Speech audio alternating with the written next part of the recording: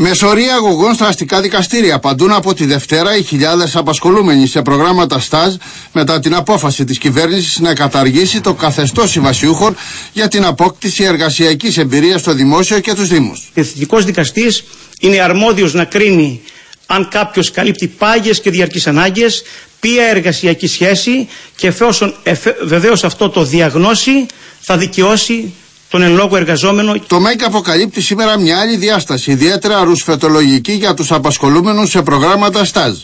Στην προσωπική ιστοσελίδα που διατηρεί στο διαδίκτυο, ο πρώην διοικητής του ΑΕΔ, Γιώργος Βερναδάκης και υποψήφιος βουλευτής της Νέας Δημοκρατίας, υποσχόταν προεκλογικά στους απασχολούμενου σε ΣΤΑΖ μετατροπή των συμβάσεων μαθητείας που είχαν σε συμβάσεις αορίστου χρόνου, δηλαδή ουσιαστικά μονιμοποίηση στο δημόσιο.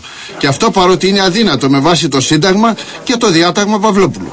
Εκφράζω την ελπίδα, αλλά συγχρόνως μάχομαι ώστε να ληφθούν άμεσα υπεύθυνες αποφάσεις σύμφωνα με τους νόμους και τις κοινοτικές οδηγίες προς όφελος όλων αυτών που καλύπτουν τις προποθέσει για σύναψη συμβάσεων αορίστου χρόνου. Αυτό είναι και γραπτός βέβαια, το δηλώνουν οι άνθρωποι. Εμείς ζητάμε να κάτσουμε στο τραπέζι του διαλόγου με τον κύριο Λοβέρδο ή τον κύριο Ραγκούση, γιατί τώρα το μπαλάκι έχει πέσει στον κύριο Ραγκούση, να συζητήσουμε τι μπορεί να γίνει. Η απόφαση της κυβέρνησης να κλείσει το παράθυρο της έξτρα μοριοδότησης μέσω ΑΣΕΠ που είχαν οι συμβασιούχοι του Δημοσίου έφερε στο προσκήνιο φωτογραφικές διατάξεις που εφαρμόστηκαν τα τελευταία χρόνια ώστε να τακτοποιηθούν οι μέτεροι.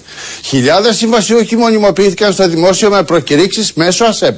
Στις προκηρύξεις αυτές ήταν τόσο φωτογραφικές οι προποθέσει συμμετοχής στους διαγωνισμούς, ώστε κατά 99% μονιμοποιούνταν όσοι απασχολούνταν για ένα διάστημα στο Δημόσιο.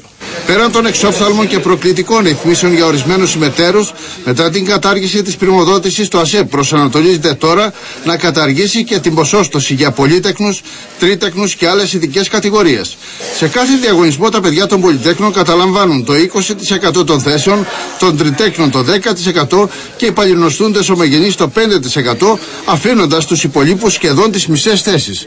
Η πρόταση προς την κυβέρνηση θα είναι να καταργηθούν οι ποσοστώσεις και να αντικατασταθούν μόνο με επιπλέον μόρια για κοινωνικούς λόγους.